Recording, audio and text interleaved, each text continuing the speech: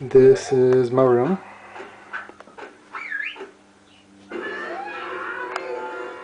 can tell where the magic is.